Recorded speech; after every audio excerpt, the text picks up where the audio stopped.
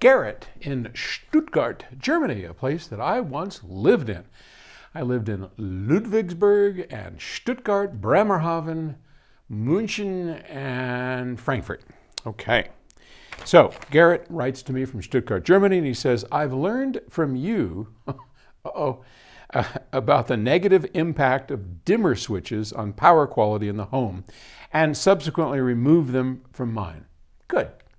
However, I was wondering if and how smart bulbs that dim wirelessly via Bluetooth or Wi Fi impact my home's power quality. Okay.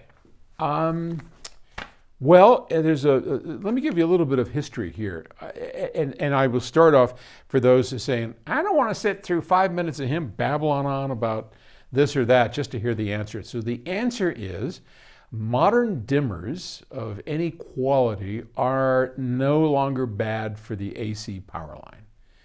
Modern dimmers, the LED kind that you're talking about, really don't seem to have much of an impact on the AC power line anymore. So there you go. Okay. Years ago, when all this started, if you remember back when we had the little knobs and we turn it up and down, you hear this, it, it, they buzz, they did. What they used to do is literally take a, a triac and, and chop off the waveform.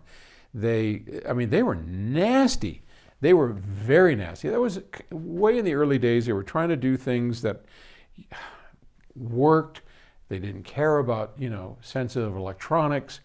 Uh, you couldn't get that. I mean, today we have things like uh, CE, where the standards for what you can do damage wise to the power line, to radiated uh, space, to, to, the amount of power you use, uh, you know, the, the, the, the uh, what CE stand for. Um, it's the European Union's standard. I should probably know what it stands for. I don't remember. Anyway, whatever it stands for, they're really strict and they're really stringent on, on what kind of damage you can do. And it's minimal at best. So today, it's not a problem. If you have old dimmers in your house, you remember the kind, the little knob on it, you push them in and turn it on, push it, turn it off, and it, you, sometimes you'd hear this, zzz, zzz, you know, get those suckers out of there.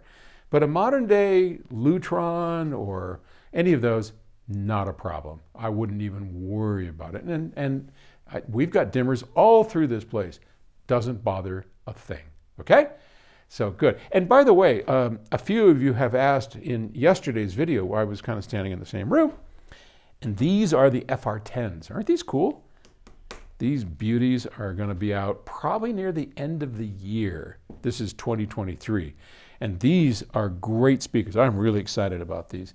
It's finally getting down into the affordability range. So very cool speakers, the FR10. Okay. Thanks for the question. Talk to you later.